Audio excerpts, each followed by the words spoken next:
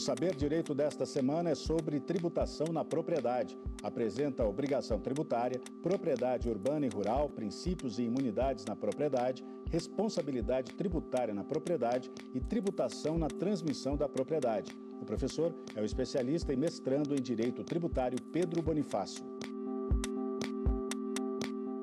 Olá, meus amigos do Saber Direito, tudo bem com vocês? Aqui quem fala é o professor Pedro Bonifácio e seguiremos com o nosso encontro a respeito da tributação na propriedade.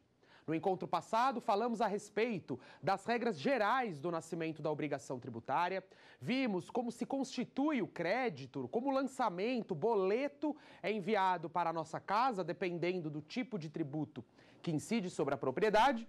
E agora passaremos a falar de forma mais ampla, de forma mais concreta, a respeito dos impostos que sempre vamos pagar em razão de sermos proprietário de bens móveis ou imóveis. Importante termos em mente que não existe uma tributação apenas restrita a impostos. Quando falamos em tributos, os tributos eles se dividem em várias espécies. Então eu posso chamar um tributo de um imposto, eu posso chamar tributo de taxa, contribuição de melhoria. E quando eu falo de tributação na propriedade, nós não estamos restritos à cobrança de imposto.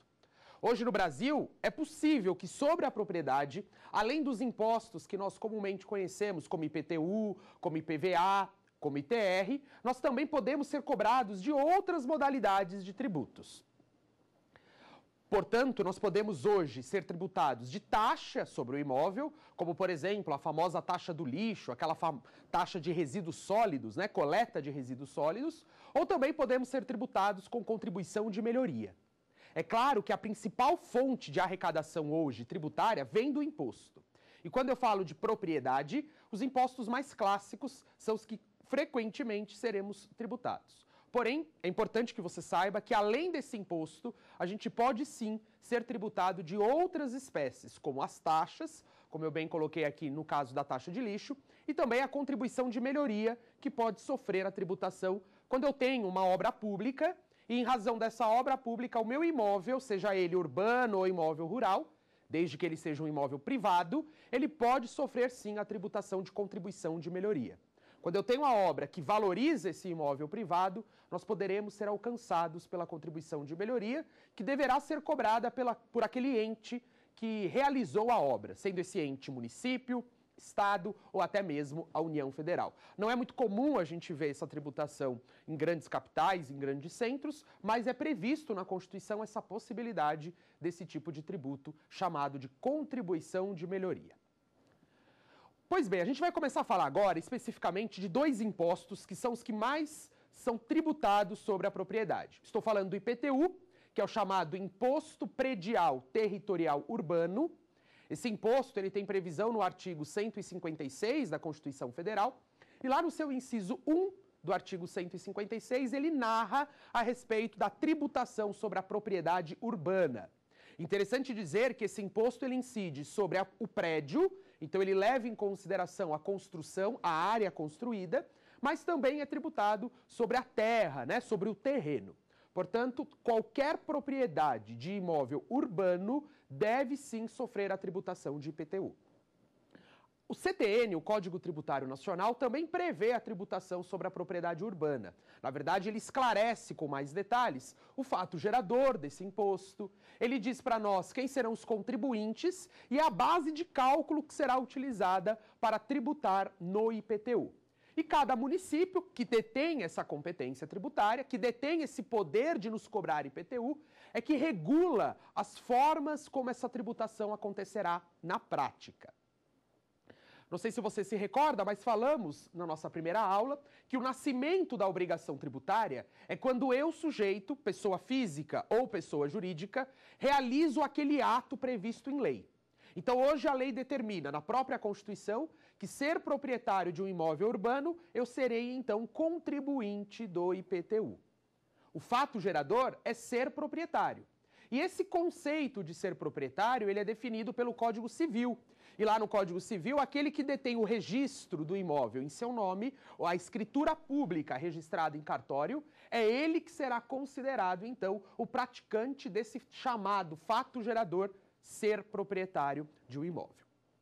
É importante você também ter em mente que o que classifica esse imóvel como um imóvel urbano é a localização dele.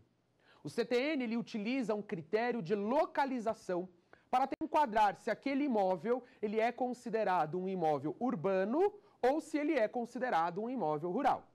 Hoje, no artigo 32 do CTN, artigo 32, parágrafo 1, nós temos os elementos qualificadores de um imóvel urbano. Quando olhamos a legislação e conseguimos identificar esses elementos, esses critérios naquele imóvel, podemos afirmar com segurança que se trata então de um imóvel urbano. E aí, nessa regra, ele pagaria IPTU, que é o imposto municipal. Pedro, quais são esses critérios então que a gente tem que observar para categorizar, né, para classificar aquele imóvel como um imóvel urbano e não como um imóvel rural.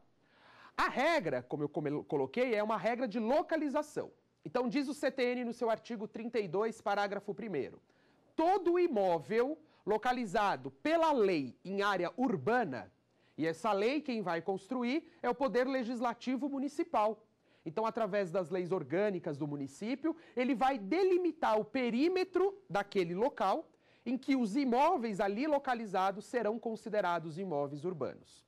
Então, a primeira regra é identificar se na lei daquele município aquele espaço geográfico está classificado como área urbana ou até mesmo área urbanizável. Né? Os novos bairros que surgem em alguns locais podem não ser totalmente urbanos com relação às melhorias, mas é um imóvel que está se urbanizando, é um local que está se urbanizando e por isso ele já pode sim ser considerado um imóvel urbano. É importante delimitar que precisa ter a lei. Eu preciso de uma lei do município delimitando aquela propriedade como imóvel urbano. Só que o artigo 32, parágrafo 1 nos diz mais. Além de ser um imóvel urbano definido em lei municipal, ele também precisa contar com alguns melhoramentos. E ao identificar esses melhoramentos no local, na região, a gente consegue ter a segurança e certeza que é uma área urbana. O parágrafo 1 relata para nós cinco incisos de melhoramentos que são possíveis dentro de uma localização. Ele não precisa ter os cinco melhoramentos. A lei ela narra cinco, mas ela define que apenas dois desses melhoramentos são suficientes para enquadrar aquele local, para enquadrar aquela região como uma área urbana. Pedro, que melhoramentos são esses? Se você acompanhar o artigo 32, parágrafo 1, lá diz em seus incisos de 1 a 5 que alguns melhoramentos, como por exemplo, água encanada, iluminação pública, meio-fio, calçamento, saneamento básico, né, aquele tratamento de água e esgoto, escola primária ou até mesmo posto de saúde, só que aí ele delimita um raio de até 3 quilômetros no, no máximo para que então possamos considerar aquele melhoramento.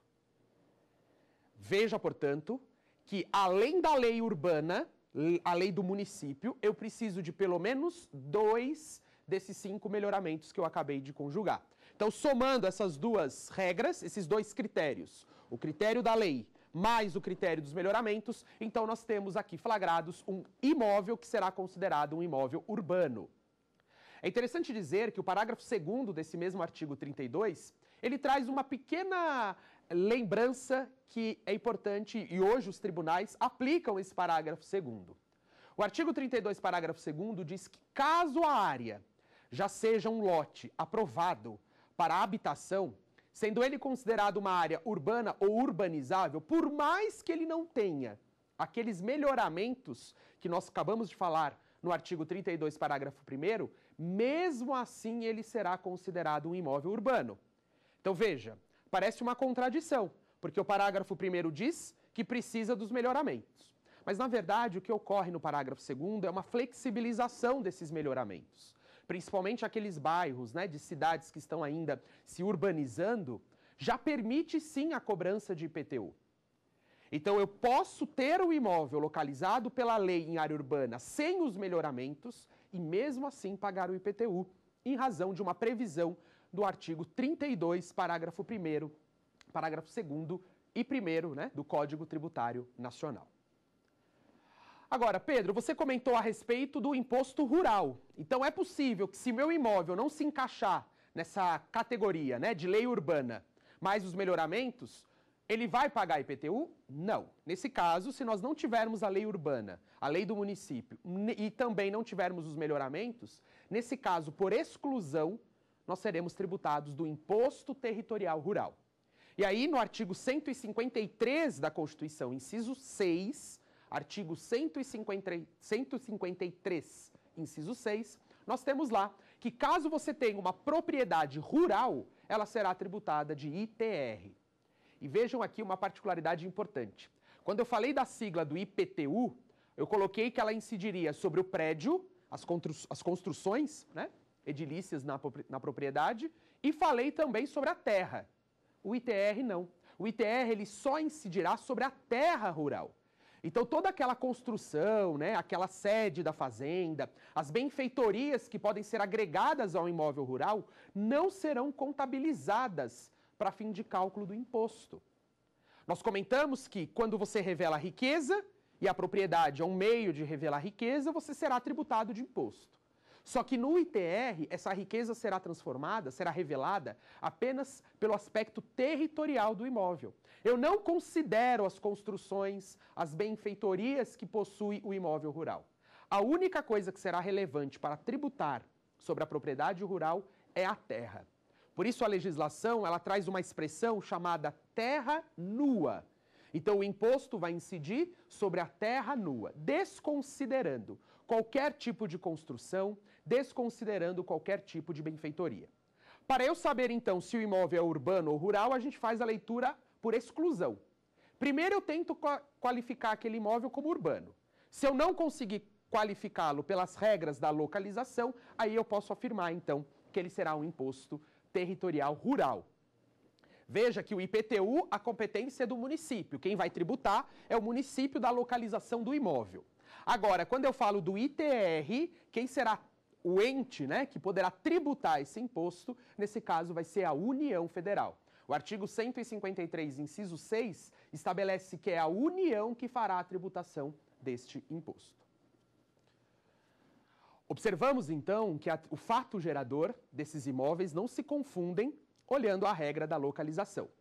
Mas Pedro, quem será a pessoa designada a pagar esse imposto? A regra é que o pagamento deve incidir sobre o proprietário.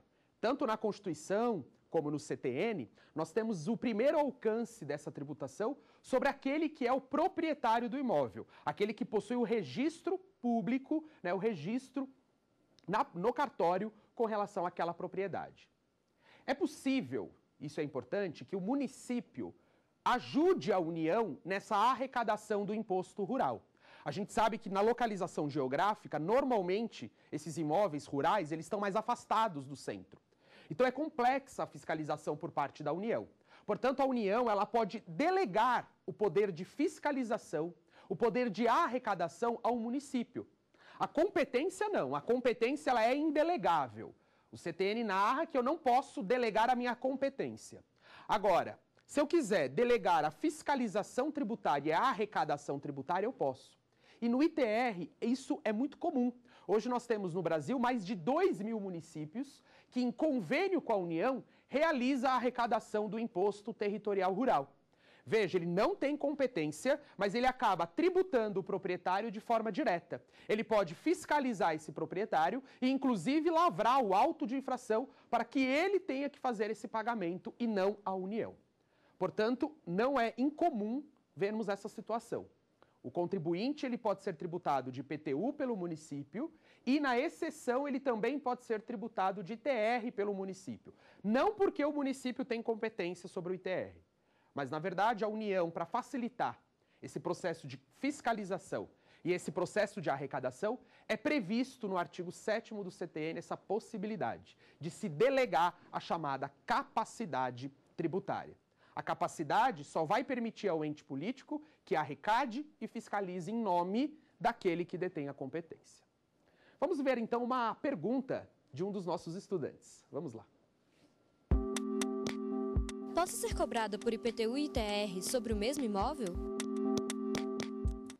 Excelente pergunta, né, da nossa estudante. É muito comum, como a gente tem aqueles imóveis localizados numa área que está se urbanizando ainda, que se pretenda a União cobrar o ITR.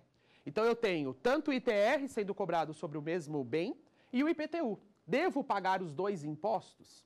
Não. O Brasil ele proíbe o chamado fenômeno da bitributação. A bitributação ela tem previsão no artigo 164 do CTN, mais especificamente no inciso 3. E nesse artigo 164, inciso 3, determina que ou você paga o imposto sobre aquele fato gerador ou paga outro. Não é possível a cobrança de dois impostos, mesmo que diferentes, em que o fato gerador seja o mesmo. Aqui estou falando de propriedade, independente se ela é urbana ou se ela é rural, o fato gerador a ser tributado é ser proprietário. Portanto, eu não posso sofrer o impasse de ser cobrado duas vezes sobre o mesmo fato gerador. Portanto, ou você paga IPTU ou você vai pagar ITR. Importante comentar que a Constituição já prevê essa possibilidade desse chamado conflito de competência. Imagina que eu tenho então um carnê, um boleto da Receita Federal me cobrando de ITR e eu tenho um carnê do município me cobrando IPTU. Acabamos de ver que não é possível que eu pague os dois, eu devo pagar apenas um. Mas e se o ente público me cobrar? Como eu faço?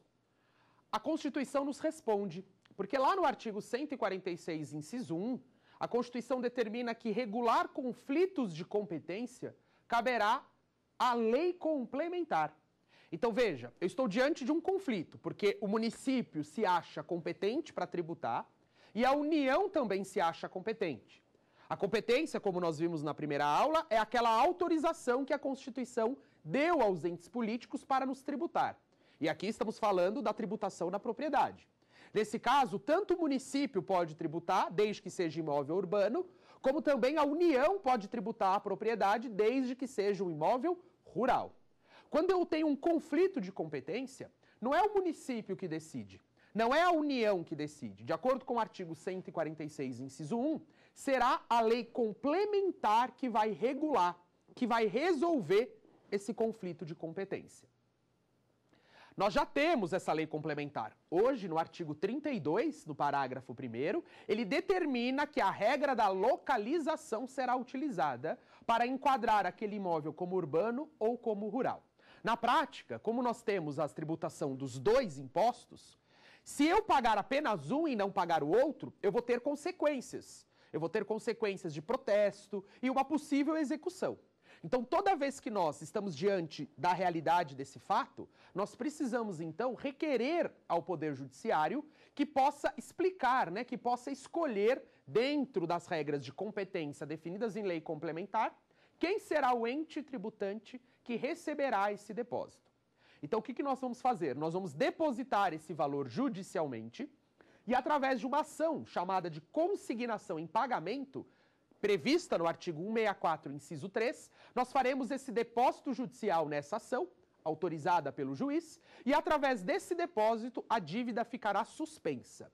Nem a União poderá exigir o pagamento, nem o município, visto que, nesse caso, o depósito do valor será suficiente para quitar uma ou outra dívida. Por mais que eu entenda, por exemplo, que o ITR é o mais devido, eu devo fazer o pagamento, se eu quiser suspender a cobrança, do maior valor. Assim eu evito que os entes políticos que estão nos cobrando possa executar atos que possa prejudicar o nosso devedor. Por esse motivo, eu ingresso com essa ação de consignação em pagamento e dessa forma o juiz é quem decide.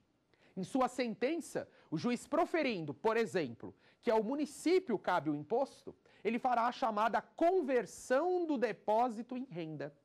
E ao fazer essa conversão do depósito em renda, quem vai receber o devido tributo, quem vai receber o valor é o ente político a qual ele deu a competência. Automaticamente, por essa sentença, o outro ente não poderá exigir o pagamento em razão da sentença transitada em julgado.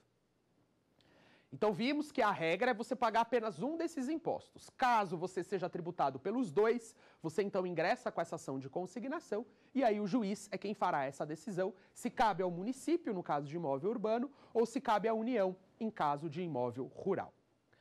Comento a vocês que a pessoa que paga esse imposto é aquela pessoa determinada proprietária, possui o registro do imóvel em seu nome. Mas nós temos no, no artigo é, do CTN, o artigo 33 e 34 do Código Tributário Nacional, que o contribuinte, além do proprietário, ele também pode ser o titular de um domínio útil ou um possuidor, um possuidor a qualquer título. Então veja, não necessariamente quem vai pagar o imposto é o proprietário. Pode ser que além do proprietário, naquele caso concreto, nós tenhamos uma pessoa que resida no imóvel e seja considerado um possuidor. No, na escritura do imóvel não está o nome dele, porém ele é considerado possuidor do bem. E esse possuidor de direito real pode ser possuidor a qualquer título, né? Como aquele possuidor que requer futuramente o seu uso capião do imóvel. Mas ele também pode ser o titular do domínio útil. Não é apenas o proprietário que pode sofrer a tributação do imposto. Hoje, pela, pelo Código Tributário Nacional, tanto pelo IPTU quanto também pelo ITR, a figura do possuidor a qualquer título, como o titular do domínio útil, também podem ser considerados contribuintes do imposto. E aí você deve estar se perguntando, e como fica a tributação nesse caso? Os três serão cobrados do imposto? Vamos imaginar numa situação em que eu tenha né, o proprietário de um bem com registro do imóvel em seu nome, mas eu tenha lá também um possuidor, uma pessoa que está no imóvel de uma forma mansa e pacífica, explora aquele imóvel de alguma forma e por isso ele vai requerer futuramente a propriedade, o reconhecimento da sua propriedade por uso capião. Ora, nesse caso, eu vou tributar tanto o proprietário como o possuidor? Hoje, o STJ, o Superior Tribunal de Justiça, tem um entendimento já sumulado, o um entendimento já pacificado.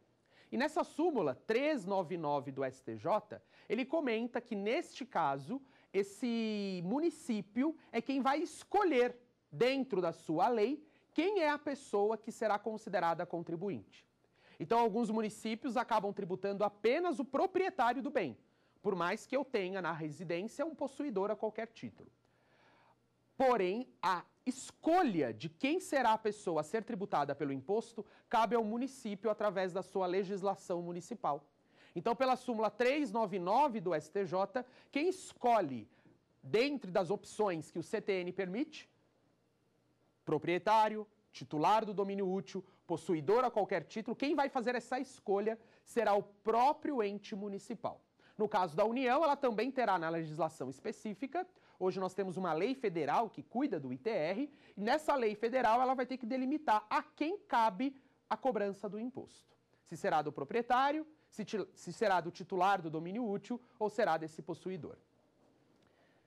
Interessante dizer a respeito do titular do domínio útil, né, que poderíamos enquadrar aqui o usufrutuário do bem, ele também pode ser considerado um contribuinte do imposto. Nós tivemos uma recente é, decisão do Supremo Tribunal Federal, em repercussão geral, que reconheceu que aquele que tem né, o uso, a cessão de uso por parte do bem, e explora essa propriedade com cunho econômico, ele pode sim ser considerado contribuinte do imposto. Então imagine uma propriedade privada, que deveria ser cobrado o imposto do seu proprietário, Porém, ela é explorada através de um contrato de concessão de uso de direito sobre o bem. Nesse caso, se o direito é sobre o bem e você explora atividade econômica naquele local, você pode sim também, sendo esse titular desse domínio útil, cobrar, ser cobrado de IPTU direto. Então eu posso mandar o carnê diretamente para você sem que o proprietário seja aquele responsável a pagar. É claro que a legislação municipal às vezes acaba definindo eles como solidários, e aí nós temos a questão da responsabilidade em conjunta né, desses dois sujeitos. Mas a regra, de acordo com a súmula 399 do STJ, é que quem fará essa escolha é o próprio município, ou no caso do ITR, é a própria União.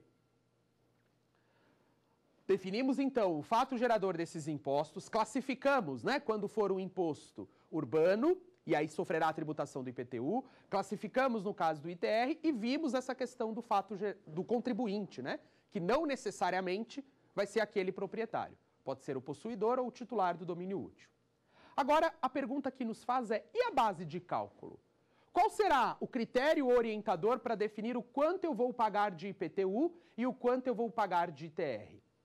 Quando analisamos a legislação na Constituição Federal e no CTN, nós temos que a base de cálculo é o valor venal, tanto do imóvel rural quanto o valor venal do imóvel urbano. É importante dizer que valor venal não se confunde com valor comercial. Então, aquele valor que você vai impor ao seu bem na hora de uma venda não é necessariamente o valor venal. Nós, quando vamos vender o nosso imóvel, consideramos outros elementos que são irrelevantes ao poder público na hora de definir o valor venal do seu bem. Então, vamos, por exemplo, pegar o caso de um imóvel urbano. Qual é o valor venal do IPTU?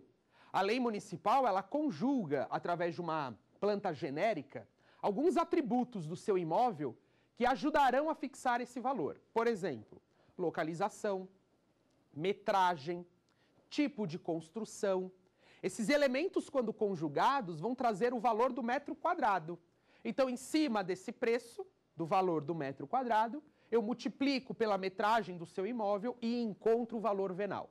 Hoje, se você quiser saber o valor venal do seu imóvel, pegue o seu carnê né, de IPTU e no carnê de IPTU vem configurado, de acordo com esses critérios que eu aqui mencionei, qual é o valor venal do seu bem.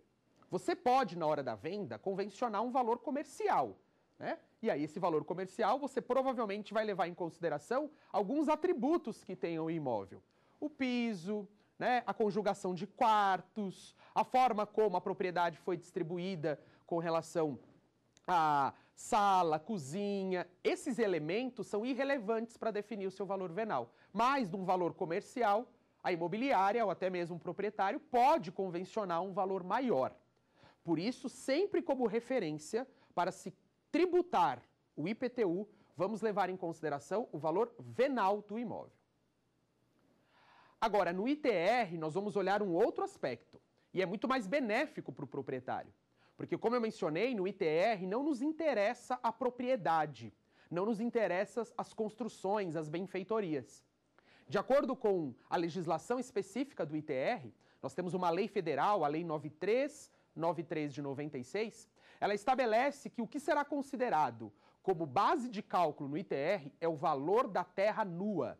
Essa chamada terra nua significa que todas as construções e benfeitorias devem ser desconsideradas e será tributado unicamente o valor da terra. Então eu vou olhar a metragem do imóvel, né, em hectares, que normalmente é o padrão de se medir uma terra rural, e através dessa medição é que eu vou tributar, é que eu vou quantificar o valor da terra. Sobre esse valor, né, que nós não chamamos de valor venal, porque ele considera apenas o valor da terra, será então enquadrado uma alíquota do imposto, que pode, no caso do ITR, vir a depender da metragem, da quantidade de hectares e do grau de utilização dessa propriedade. Mas a regra é que a base de cálculo seja o valor da terra. Vamos agora, então, observar mais uma pergunta dos nossos estudantes. O imóvel localizado em área urbana com destinação rural paga qual imposto? Interessante a pergunta da nossa estudante, porque falamos até agora que a regra para a tributação do IPTU e do ITR era a localização. Então nós vimos que se a lei municipal define aquele imóvel como imóvel urbano, e nós temos pelo menos dois daqueles cinco melhoramentos, ou até uma certa flexibilização, né? Se não houver melhoramentos, mesmo assim deveria se tributar o, IP, o IPTU ao invés do ITR. Agora, se esse imóvel é um imóvel urbano, mas em razão de localização, mas a exploração daquele imóvel está sendo realizado por uma forma rural, né, uma exploração pecuária, agroindustrial, como ficará então a tributação nesse caso? Mesmo assim será IPTU? Meus amigos, a legislação estabelece no artigo 15 do Decreto-Lei 57 de 66, artigo 15 do Decreto-Lei 57 de 66, que o Supremo já reconheceu que foi recepcionado pela Constituição Federal de 88. Através desse artigo 15 do Decreto-Lei 57 de 66, é definido que é possível sim a cobrança de ITR e não IPTU. Apesar do imóvel estar sendo localizado em área urbana, nesse caso nós vamos considerar um outro critério. Nesse caso, eu vou considerar o critério da destinação. Se a destinação do imóvel ela é rural, nesse caso, então, sendo destinação rural, eu pagarei ITR e não IPTU. Veja aqui que é uma exceção, hein? Falamos que a regra é a localização. Mas se você utiliza o seu imóvel rural com uma destinação, uma exploração rural, pagará ITR. E aí eu sempre falo aos nossos alunos que não adianta, né? Você tem um imóvel urbano e fazer uma horta no seu quintal, plantar ali um alface, plantar ali alguma, alguma outra verdura. Não é isso. A ideia do artigo 15 do Decreto-Lei 57 de 66 para te direcionar ao pagamento do ITR é a ideia da exploração do imóvel. Então, a subsistência familiar, a subsistência daquela propriedade tem que ser da exploração rural. Porque, senão, mesmo tendo ali a sua horta, tendo ali o seu jardim, ela será tributada de IPTU normalmente. Aqui o conceito é nós olharmos a exploração do imóvel e não exatamente a questão de ter ou não ali algum cultivo né, de produção rural. A ideia é a exploração, a subsistência daquele proprietário. Maravilha? Pedro, e como eu ficarei sabendo do valor a ser pago? Você comentou então que a base de cálculo, no caso do IPTU, é o valor da, o valor venal da te, do, do prédio, né? Do prédio, do, das construções, da metragem. E no caso do ITR é o valor da terra nua. Mas como que eu vou ficar sabendo o valor exato que eu tenho que pagar? No encontro passado, nós vimos que uma regra importante desse lançamento, desse boleto, é que a autoridade fazendária que teria que produzir. Ela vai mandar o carnê para você, você, ao receber o carnê, vai ficar sabendo do valor a ser pago e aí vai ao banco, na forma que o, o contribuinte achar mais é, confortável a sua escolha, ele vai lá e paga aquele determinado boleto. Normalmente, o fato gerador desse imposto, ele acontece todo dia 1 de janeiro de cada ano. Então, o imóvel urbano, as leis municipais, em sua maioria, estabelecem o dia 1 Nessa data, aquele que for considerado proprietário de um imóvel urbano paga IPTU. No caso do ITR, a lei do ITR, a lei 9393 de 96, já estabelece, né, no seu artigo 10, que também será considerado é, proprietário de um imóvel urbano aquele que tiver na condição no dia 1 de janeiro de cada ano. Só que ele sabe que ele tem esse fato gerador praticado. Ele tem um dever de pagar, mas ele fica à espera do boleto. Então, no caso do IPTU, nós esperamos chegar ao carnê para fazer esse pagamento. Nós fizemos uma classificação que esse boleto ele pode chegar de duas formas. Ele pode ser um lançamento de ofício, ou nós vimos que ele também pode ser um lançamento chamado de homologação. E aqui nós temos uma distinção importante com relação ao lançamento do IPTU e com relação ao lançamento do ITR. Porque o IPTU, você fica em casa, tranquilo, assistindo TV e de repente chega o carnê na sua caixa de correio. Você vai lá, recebe aquele carnê, verifica as opções de pagamento, à vista, parcelado, e efetua o recolhimento e a obrigação se torna extinta. A partir do momento que eu quito todo o crédito, todo o boleto enviado por parte da autoridade municipal, então eu posso considerar que a minha dívida está extinta. Contudo, no ITR, você não receberá, em regra, boleto. Porque a lei do ITR, ela estabelece uma regra diferente. A lei do ITR, ela estabelece que quem fará a apuração do imposto e fará o preenchimento da guia e pagar antecipado é o próprio contribuinte. Então veja aqui que entidade, a entidade pública, né, a União nesse caso, ela é espectadora do contribuinte. Porque ela espera que ele próprio, ao saber que é proprietário de um imóvel rural, Conhecendo a legislação que ele tem que pagar o ITR, ele vai entrar no site da Receita Federal, ele vai imprimir a guia de recolhimento do imposto, preenchendo o hectare do imóvel, preenchendo o grau de utilização daquela propriedade. É ele quem faz tudo, o próprio contribuinte. De acordo com as informações que ele vai colocar nessa guia, aí sim o sistema gera o valor a ser pago com base na lei federal, a lei do ITR ao receber essa guia, né, imprimir essa guia, ele se dirige ao banco e faz o, o pagamento antecipado. Por que, que nós chamamos de pagamento antecipado? Porque nesse momento, a autoridade fazendária não valida as informações colocadas pelo contribuinte. Porque às vezes o contribuinte pode omitir uma informação, pode, por um equívoco na interpretação da lei, imputar uma informação incorreta. Não por má fé, não por dolo, mas às vezes por não conhecer a legislação. O produtor rural às vezes não tem a facilidade né, de ingressar numa lei, de conhecer o texto e, atra através da sua interpretação, fixar o valor. Portanto, a autoridade fazendária não faz essa conferência. O contribuinte paga primeiro e depois a autoridade fazendária vai ter um prazo para homologar, para concordar com esse valor e saber se o valor pago está certo ou está errado. E aí você pergunta, Pedro, mas qual é esse prazo que a autoridade fazendária vai ter então para fazer essa homologação? Pois bem, o artigo 150 do CTN, no seu parágrafo 4 estabelece um prazo bem razoável para que o contribuinte possa fazer o pagamento, para, para que a Fazenda Pública, na verdade, depois do pagamento, possa fazer essa confirmação. O artigo 150, parágrafo 4 estabelece um prazo de cinco anos para que a Fazenda Federal, no caso do ITR, possa homologar esse pagamento. Quando ela homologa esse pagamento, ela pode verificar um equívoco por parte do contribuinte. O que, que ela faz nesse caso? Relança o próprio devedor, complementando esse valor. Então vamos imaginar que eu sou proprietário de um imóvel rural e ao ler a legislação, eu interpretei que eu deveria pagar 100. Contudo, na legislação, a União entendeu que eu tinha que pagar mil. Como eu já fiz o pagamento de 100 reais, a minha dívida ainda não está extinta nessa hipótese, porque o fisco ainda não homologou. Quando ele vai confirmar nesse prazo de 5 anos, conforme estabelece o artigo 150, parágrafo 4 nesse prazo de 5 anos, se o fisco federal observar que eu paguei menos do que eu deveria, ele vai me relançar. No meu exemplo, ele vai lançar novamente o boleto com a diferença de 900 reais. Só que agora esse lançamento vai ser de ofício, porque a própria autoridade é quem vai encaminhar, informando que houve erro de cálculo, vai ser cobrado, por óbvio, juros, multa, e ele fará esse pagamento complementar a respeito do erro na hora de realizar essa declaração. Eu comentei que o município, ele também tem o poder, se a União, por convênio, transferir a ele essa arrecadação.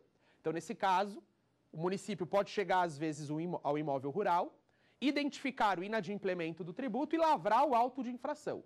Então, essa guia vai ser diretamente do município. Mas, na regra, quem faz o pagamento é o próprio contribuinte na modalidade por homologação. É importante a gente esclarecer que, às vezes, a Fazenda Pública ela não consegue, dentro desse prazo de cinco anos, responder se o contribuinte pagou certo ou se o contribuinte pagou errado. Nesse caso, por mais que a autoridade fazendária não tenha expressamente se manifestado favoravelmente ou não ao pagamento do imposto, se considera extinta a obrigação através da chamada homologação tácita. O que é isso? A Fazenda Pública ficou em silêncio. Ela tinha um prazo de cinco anos para dizer se ela concordava com o pagamento ou se ela não concordava. Se ela fica silente, se ela fica inércia nesse prazo de cinco anos, se considera então que houve a chamada homologação tácita. Agora, por mais que o contribuinte tenha errado no valor, tenha calculado de forma indevida, a Fazenda Pública não poderá relançá-lo em razão da perda desse prazo. Portanto, é possível né, que dentro desse prazo de cinco anos a Fazenda não se manifeste. Isso não quer dizer que ela terá mais prazo para se manifestar. A homologação acontece de qualquer jeito em cinco anos, a contar do fato gerador. Ou ela será de forma expressa, a própria Fazenda Federal comunica ao devedor que o pagamento foi recebido homologado e a dívida, nesse caso, extinta, ou ela será de forma tácita, ou seja, o contribuinte não receberá nenhuma manifestação, porém, como passou esse prazo, ele também pode considerar que o feito, né, a obrigação tributária, também se foi extinta. Reforço a vocês que nós temos uma súmula do Supremo, perdão, do Superior Tribunal de Justiça, né, a súmula 436 do STJ, que determina que quando o contribuinte se autodeclara, se auto-lança, é, isso já é suficiente para constituir o crédito. Então vamos imaginar na hipótese que ele fez esse auto-lançamento e não efetuou o pagamento a autoridade fazendária não terá a necessidade de lançar novamente. Basta agora que pratique os atos para uma possível futura execução. E nós vamos ver durante as nossas aulas que é possível sim que o inadimplemento gere no final a execução desse contribuinte, já que a relação tributária ela será sempre compulsória. Para ser considerado tributo, aquela obrigação ela tem que ser compulsória. Eu não posso me furtar deste dever. Então, caso o contribuinte tenha se autodeclarado, se autolançado pela súmula 436, isso é suficiente para dizer, então, que o crédito tributário foi constituído. Agora, se o contribuinte não faz essa declaração, às vezes ele desconhece essa obrigatoriedade, que ele mesmo tem que entrar no site da Receita Federal e fazer essa declaração. Neste caso, a União teria que lançá-lo dentro do prazo de cinco anos, ok? Então é importante você saber que o que distingue o lançamento do IPTU do ITR é que no IPTU eu recebo tranquilamente o lançamento sem fazer nenhum esforço. Já no ITR é o próprio proprietário, através desse tipo de carnê de homologação, é quem deve fazer tanto a apuração, o recolhimento e depois esperar a homologação por parte da Fazenda. Maravilha? Vamos ver então mais uma pergunta dos nossos alunos a respeito desse tema. O inquilino de um imóvel pode ser obrigado a pagar IPTU no lugar do proprietário? Interessante, né? Porque comentamos agora, durante a nossa aula de hoje, que quem é contribuinte do imposto, tanto IPTU quanto ITR, é o proprietário. Só que nós vimos que há uma certa ampliação desse conceito de proprietário, porque o CTN prevê que, além do proprietário, o possuidor a qualquer título e o titular do domínio útil também podem ser considerados contribuinte do imposto. Mas o inquilino faz parte dessa classificação? Meus amigos, quando nós estudamos o direito tributário, nós vimos que o conceito de propriedade ela está definida pelo Código Civil. Isso acontece também o conceito de posse. Quando nós falamos de possuidor a qualquer título, hoje a jurisprudência ela tem o um entendimento que esse possuidor ele tem que ter algum vínculo econômico, ele tem que explorar de alguma forma o bem imóvel. No caso do, inquilino, nós chamamos ele de possuidor de conteúdo não econômico, porque esse possuidor, no caso o inquilino, ele apenas tem a posse do imóvel em razão de um contrato de locação firmado com o próprio proprietário ou às vezes firmado com terceiros, né? uma imobiliária ou qualquer pessoa que possa estar é, figurando na relação jurídica, no negócio jurídico de alguma forma. Contudo, para a nossa legislação, esses contratos, essas vinculações formais em âmbito privado, não são influenciadas no direito tributário. Pedro, o que você está querendo dizer? Estou querendo dizer que é comum nos contratos de locação que o locador ou a imobiliária passe ao inquilino essa obrigatoriedade. Só que ele não é considerado juridicamente um possuidor a qualquer título no âmbito do IPTU e nem no âmbito do ITR, porque a posse é de cunho não econômico. E por esse motivo, o STJ afasta a aplicação que o inquilino será responsabilizado no pagamento de IPTU. Caso você né, proprietário de um imóvel, tenha convencionado numa cláusula, num contrato particular, que o inquilino fará a responsabilidade em pagar esse tributo, claro que isso tem valor. No âmbito do direito privado, no âmbito do direito civil, essa cláusula, esse contrato, ele sim pode ser acionado através de uma ação de regresso contra o inquilino. Porque às vezes esse proprietário não reside no país e nem sabe se o inquilino está ou não pagando mas cabe ao proprietário qualquer responsabilidade tributária sobre esse bem. Nós temos o artigo 123 do CTN. O artigo 123 do CTN estabelece que, salvo disposição de lei, salvo disposição de lei, as convenções particulares não são opostas à fazenda pública com o objetivo de modificar a sujeição passiva.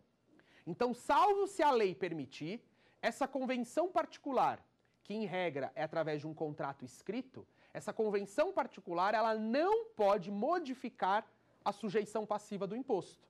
E o que nós vimos? Que a sujeição passiva ela recai sobre o proprietário. Ele até poderia ser confundido com esse tal de possuidor a qualquer título. Mas hoje compreende-se que esse possuidor, no caso o inquilino, ele tem uma posse que nós configuramos de conteúdo não econômico. E por essa posse ser de conteúdo não econômico, estaria assim afastada essa responsabilidade direta. Para concluir esse raciocínio, no caso, o carnê será em nome do proprietário. Quem pode ter essa responsabilidade pelo contrato é o inquilino. Mas se o inquilino não cumpre essa obrigação, se o inquilino não faz esse pagamento, a quem a fazenda né, vai querer receber? Ora, Pedro, do proprietário. Exatamente. O inquilino não terá nenhuma responsabilidade tributária. Como eu comentei, no direito civil, o contrato é como se fosse uma lei. nós chamamos o princípio do pacta sunt servanda, né? É aquilo que você convenciona de forma consensual, se torna lei entre as partes.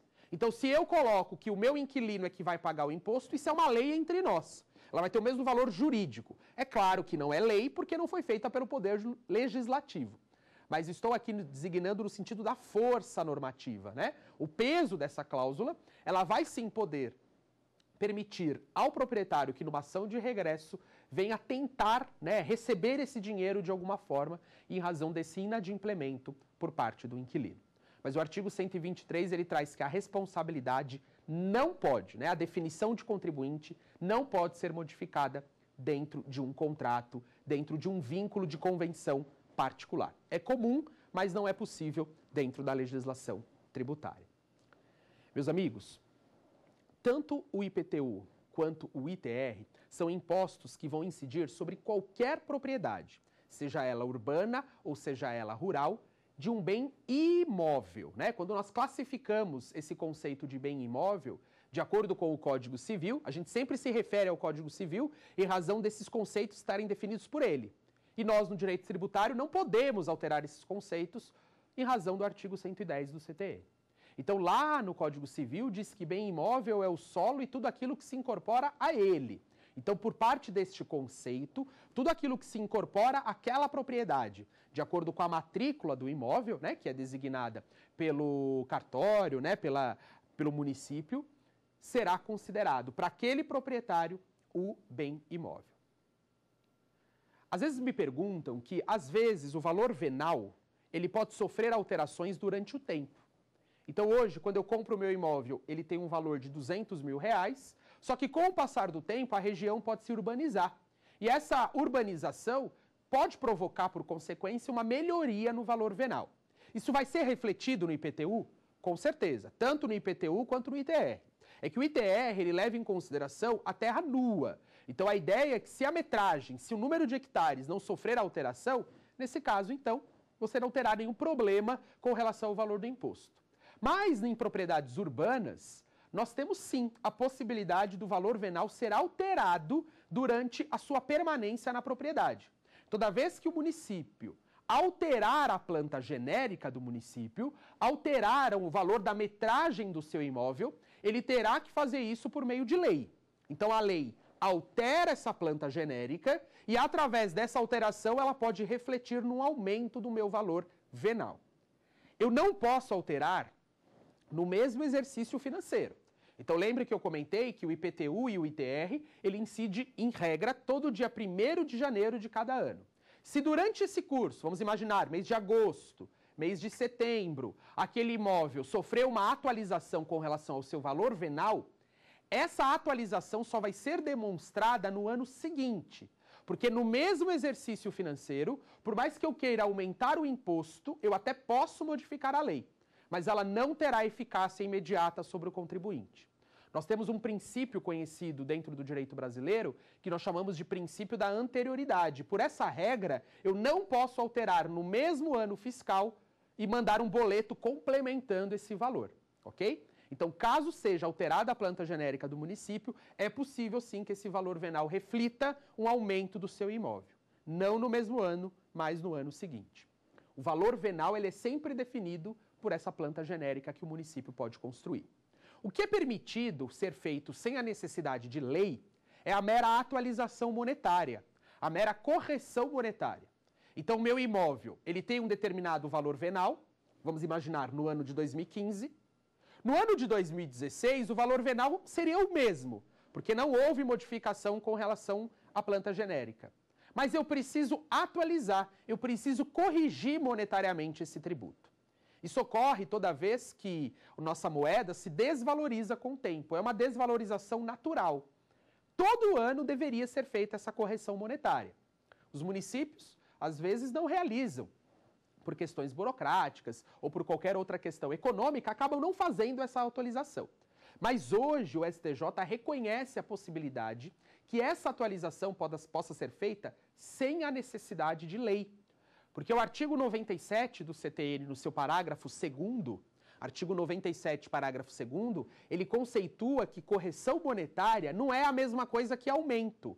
Quando eu olho o aumento, aumento é elevar a tributação acima dessa correção monetária, acima desse índice oficial de correção monetária.